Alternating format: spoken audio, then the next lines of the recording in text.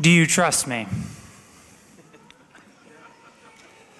Have you ever wondered why God put the tree in the center of the garden if he didn't want Adam and Eve to eat of it? It seems a little cruel, I think we might say. It's kind of like, okay, Jimmy, you can play with all of the Tonka trucks except for this one.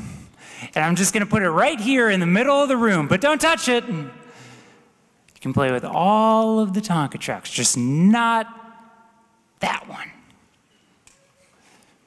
Good luck, Jimmy. Uh, and maybe that's how we feel on uh, Fridays in Lent or throughout Lent when we're staring down that thing that we promised to give up, and we're just like, man, I really don't want to have to have chick, uh, fish fillet again. I'd much rather prefer to have Chick fil A instead. But let me ask you this, and it's not a trick question. Who tempted Adam and Eve in the garden? Satan, right? The serpent, the devil. Who tempted Jesus in the desert? Satan, the serpent, the devil. So, who then do you think tempts us? Satan, the serpent, the devil. Exactly. God does not tempt us, Satan does. And he's been using the same trick literally since the very beginning. And it's simply this He tries to get us to not trust God. At the heart of all sin, it is the temptation to not trust God. Unfortunately, although we, the baptized, are children of God, we are also children of Adam and Eve. And since Adam and Eve chose to submit themselves to the suggestions of Satan rather than God, all of us bear that same wound of distrust. And we all have experienced that. I know I should pray more. I know I should quit that habit. I know that I should be reading the Bible more, but we don't. Why? Because let me suggest that deep down, we all wonder will I really be more happy if I spend more time in prayer? Will I really be satisfied if I give up this thing that I know I'm not supposed to be doing? Will I really be satisfied if I spend more time reading scripture rather than watching TV?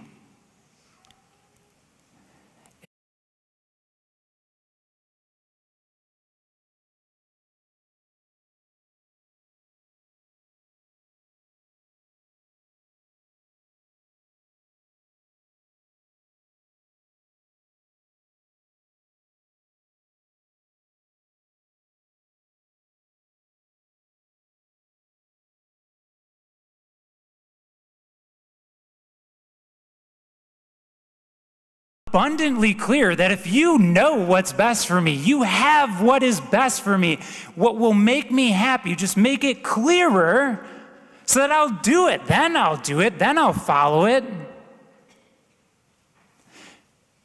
And he's just like, I have.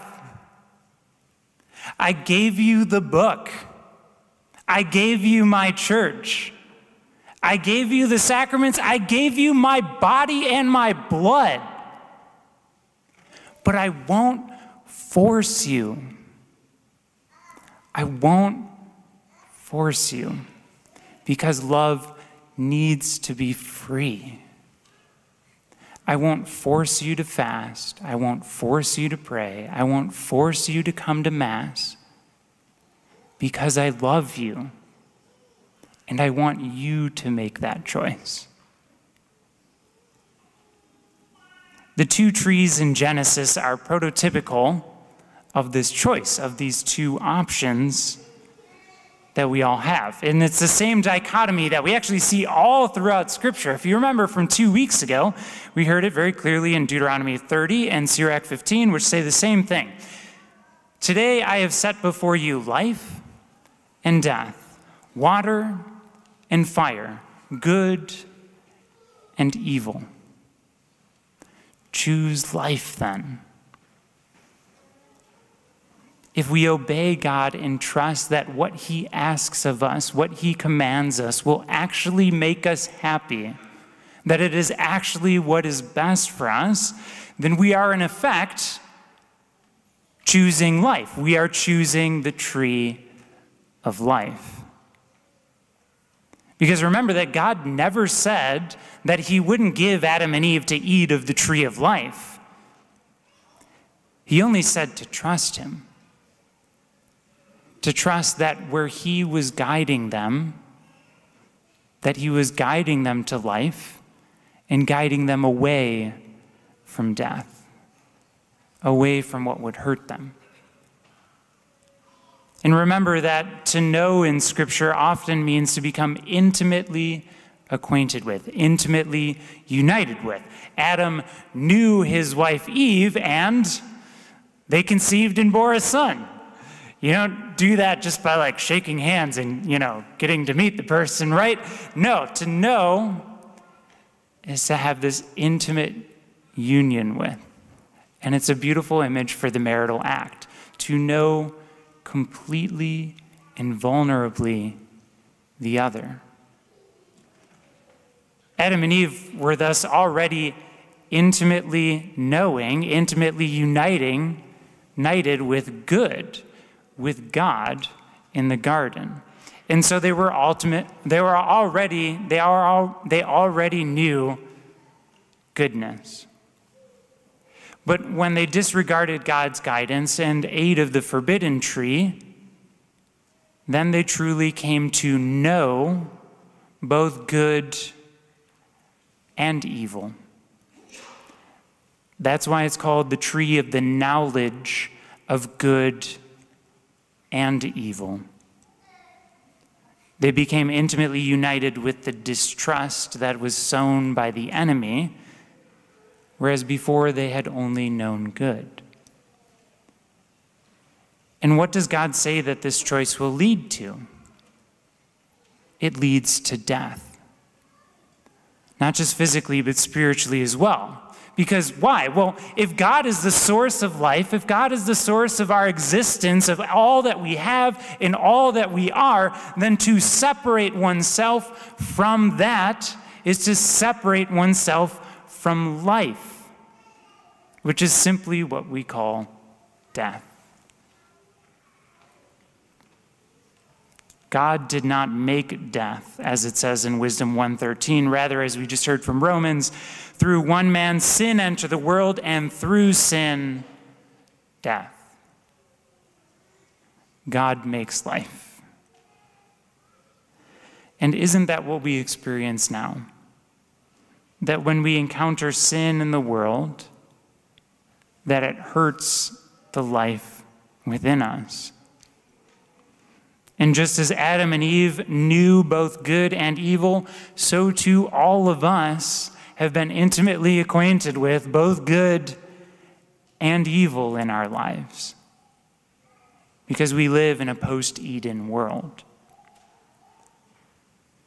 But why then, we might ask, would God immediately prevent Adam and Eve from taking from the tree of life? If they had just been spiritually dead or they're dying and physically dying, why would God keep them from the tree of life? Wouldn't it make sense that He would give them life where they were experiencing death? And He says, Now lest He put forth His hand and take also from the tree of life and eat and live forever, therefore the Lord God sent Him forth from the Garden of Eden. And we're like, What? If they chose death, why not give them life instead? Well, the short answer, and you might find this surprising, is because that would be even worse. Think about it. If Adam and Eve were spiritually dead, and then they ate the fruit that would give them eternal life, that would make them live forever, then they would be stuck in an eternity of spiritual death, an eternity of separation from God. And what is that? God does not want an eternity of life separated from Him. God does not want us to have an eternity of spiritual death. No, my friends, we have to trust always that God always wants what's best for us, that God always knows what is best for us, and that that is where He's leading us. He's not holding anything back from us. God wants to give us from the fruit of the tree of life, but He needed to reconcile us to Himself first to make us spiritually alive, to give us again the breath of His Spirit before making us live forever. And that's a beautiful thing because He has already given us the fruit of the tree of life. He took our sinful nature to the wood of the cross, and there He turns death into life. He gives us in his flesh and blood, hanging on the tree of the cross, now the fruit of the tree of life, the Eucharist. If you eat my flesh and drink my blood, you will have eternal life. Now, what's fascinating and what um, I was really blown away by while I was meditating on this passage this week is to see that um, this actually really helps to make clear a teaching that I've always struggled to and found very difficult to explain. And uh, I hope you can trust me on this as well. Um, because you see, the same principles that we just saw with the tree of life in the Garden of Eden also apply to the tree of life on Calvary. Namely, that there is a reason, a beautiful, loving reason, why God wants us to be reconciled with Him first in baptism and in confession before we receive communion, before we receive the Eucharist, before we become one flesh with Him in eating of the fruit of the tree of life. And it is simply because communion is meant to be a sealing, a consummation of our already existing communion with God. Communion is a furthering of our current communion with God. And so, if we're not in communion with God or not in communion with His church, His body, his bride, he wants to reconcile us to himself. He wants to forgive us, and he has already paid the price to make that happen. But just like with everything else, he leaves us radically free to either receive his forgiveness in confession or not. But as 1 John 1 tells us, if we confess our sins, he who is faithful and just will forgive us of our sins and cleanse us of all unrighteousness. It can certainly be hard to see that not everyone at not every Mass is in a proper place to be able to receive communion that day because we know how amazing the Eucharist is. It is Jesus Himself. It is a taste of heaven. We are made for union with God, and that is what we receive in communion. But we can also think of it this way, in addition to that analogy between the fruit of the tree of life and Eden. And I'm sorry if this is a painful analogy for some of us, um, but it's actually very fitting because it's very biblical. All you have to do is just read the book of Hosea, and you'll know why. Imagine a spouse, God forbid, who is discovered to be unfaithful in a serious way. And then, despite their spouse knowing that they were cheating on them, they then presume to just enter into the marital act without first even apologizing. Unthinkable. Right? How insulting and how indignifying is that? It's like saying, You're not even worth me saying sorry to. How much more so with our infinitely good God? there are, in fact, many ways, many reasons why um, we would come to Mass and not receive communion. And so, as a result of that, we should never judge anybody when they come up and they have their arms crossed or they're not receiving that day. We should never judge anybody because there's plenty of good reasons why they might not be receiving that day. Perhaps they forgot about the Eucharistic fast. Maybe they were doing something else. They were fasting. They were feeling lightheaded, so they had to take something to eat before they came within an hour of receiving, and so they're not going to receive that day. Or maybe they just feel like they're super distracted at Mass, uh, and so, like mentally, spiritually, they don't feel prepared to be able to become one flesh with God at that moment. Okay. Or maybe this is like their second Mass that day, and they've literally already received because they've been lecturing or working the cameras or serving or whatever. But even if we couldn't make confession before Sunday Mass, because when we needed to, better that we focus on our relationship with God than what other people might think of us. Isn't that what matters more? St. Paul put it this way uh, in 1 Corinthians 11 Therefore, whoever eats the bread and drinks the cup of the Lord unworthily will have to answer for the body and blood of the Lord. A person should examine himself and only then eat the bread and drink the cup. For anyone who eats and drinks without discerning the body eats and drinks judgment upon himself. That is why many among you are ill and infirm, and a considerable number are dying. Dying. Can you believe that St. Paul wrote that? But it's because it's true, it's scripture. If we're not in a state of grace and not in that place to be able to receive our Lord in communion that day, that's okay. The Lord wants to forgive us. But if we presume to enter into that one flesh union without first asking for forgiveness, we are adding sin to sin. And we are committing further serious sin. And the Lord does not want that for us. God always wants what's best for us. It's just like we heard about with the two trees. We must be reconciled before we can eat of the tree of life because God wants what's best for us.